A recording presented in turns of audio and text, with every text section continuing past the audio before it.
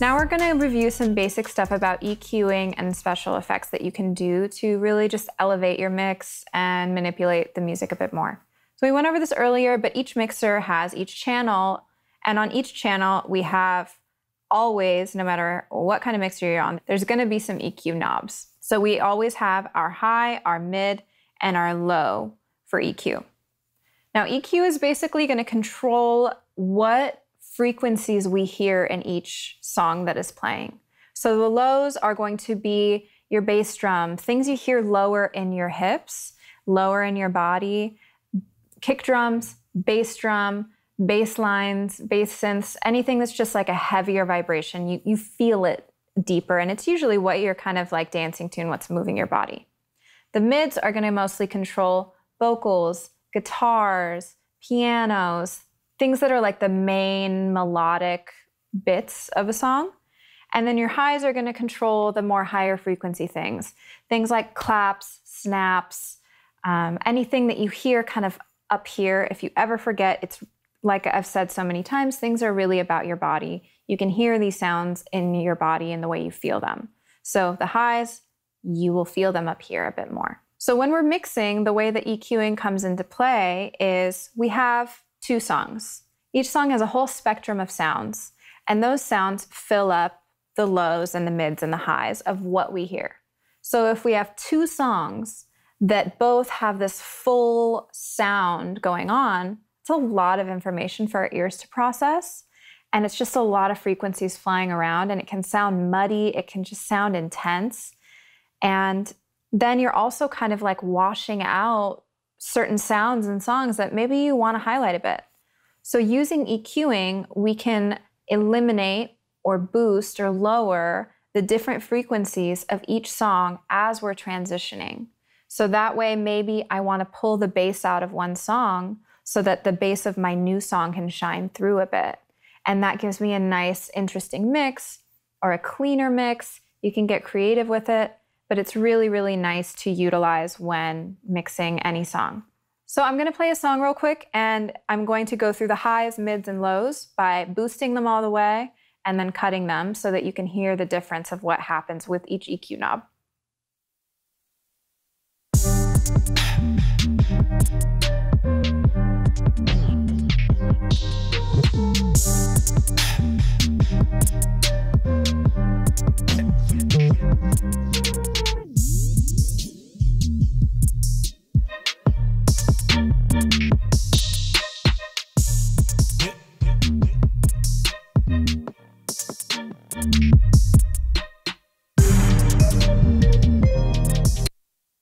So there you can see it makes a really big difference to use EQ knobs at all for any song.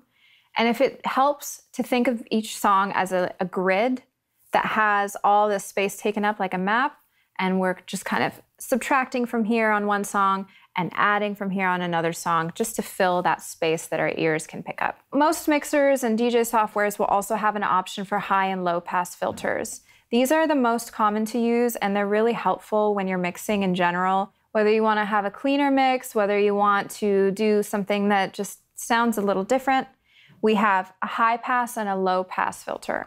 Now, this one is really conveniently placed on each channel of this Pioneer mixer. Sometimes it'll be in a separate area where you have to direct it to the channel, but for the most part, you can find it somewhere on a mixer. So basically what it's going to do is the high pass is going to sweep away all of the sounds that are not in the high frequency range, and the low pass is going to sweep away everything that's not in the low range. So it's kind of like doing the EQ, but like a bit more simplified and on a more dramatic scale.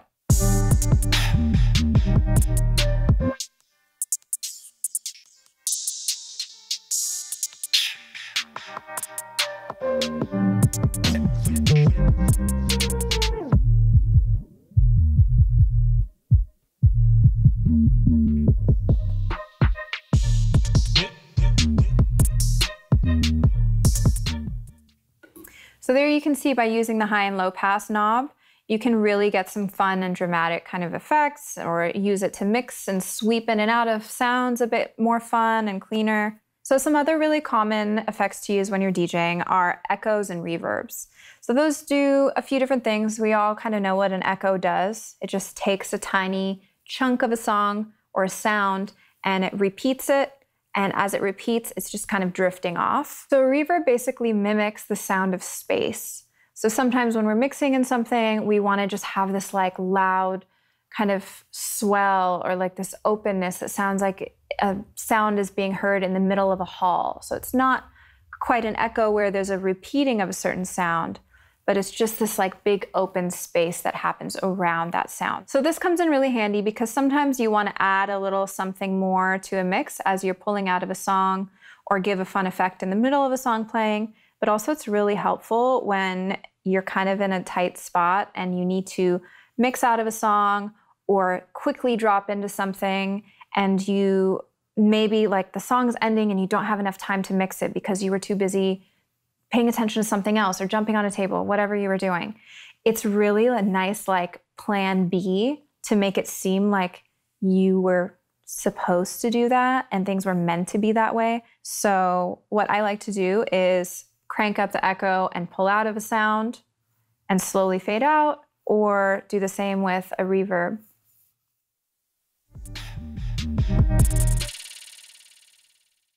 So what's really cool about this mixer is actually these filter knobs on each channel. They have a nice little mini effect hub over here that you can assign to each of these knobs. There's also this whole effects section over here that you can get really specific about what type of echo you get or how many beats the echo goes on for or what chunk of the song it takes. Like you can get really specific in there. Also taking the frequencies, like you can really go to town over here. But just for the sake of simplifying it, we're gonna stick with our really basic effects here. And we're gonna do an echo.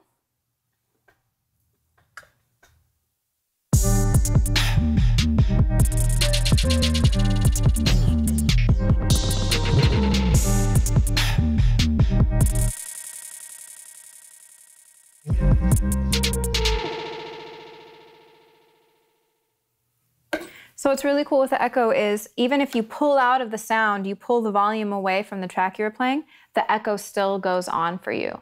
So say you were cutting out of a track or mixing out and you just wanted to kind of have a smoothing over effect to your mix out, having a little echo on the end there makes it so that it's not a sharp cut from song A to song B. It's just got this little like trail sprinkling behind. And now we're gonna do the same with reverb.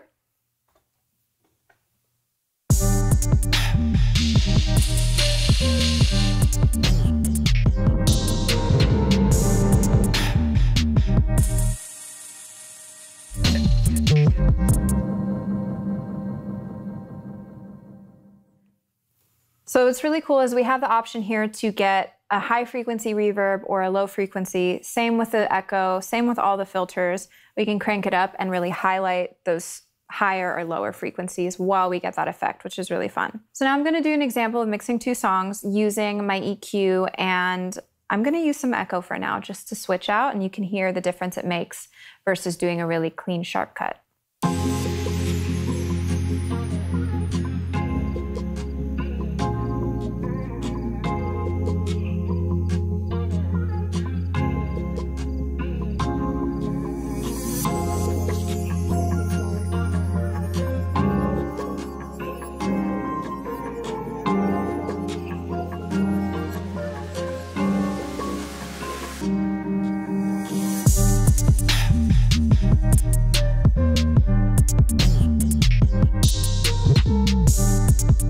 So now I'm gonna do the same thing using some EQ and a bit of reverb.